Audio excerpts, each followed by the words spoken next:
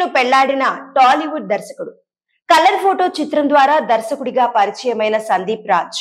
ఇదే సినిమాలో కీలక పాత్రలో నటించిన హీరోయిన్ చాందిని రావు. ఈ రోజు తిరుమలలో వివాహ బంధంలోకి అడుగుపెట్టిన జంట. కలర్ ఫోటో చిత్రం ద్వారా దర్శకుడిగా పరిచయమైన సందీప్ రాజ్ ఇదే సినిమాలో కీలక పాత్రలో నటించిన హీరోయిన్ చాందిని రావును పెళ్ళాడారు.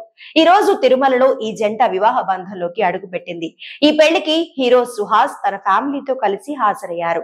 అలాగే నటుడు వైవా హర్షతో పాటు మరికొందరు ఈ వివాహ వేడుకలో సందడి చేశారు. కాగా కలర్ ఫోటో మూవీ చిత్రీకరణ సమయంలో చాందినితో సందీప్ రాజ్కు ఏర్పడిన పరిచయం ప్రేమగా మారింది.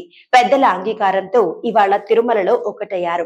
ఈ కొత్త జంటకు నెటిజన్లు సోషల్ మీడియా వేదికగా విషస్ తెలుపుతున్నారు. ఇక తొలి సినిమాతోనే సందీప్ రాజ్ ఉత్తమ తెలుగు చిత్రం విభాగంలో జాతీయ అవార్డు దక్కించుకున్న విషయం తెలిసిందే. ప్రస్తుతం ఆయన తన రెండో మూవీని రాజీవ్ కనకాల సుమా దంపతుల కుమారుడు రోషన్తో తెరకెక్కిస్తున్నారు. మోగ్లీ పేరుతో ఈ సినిమా తెరకెక్కుతోంది.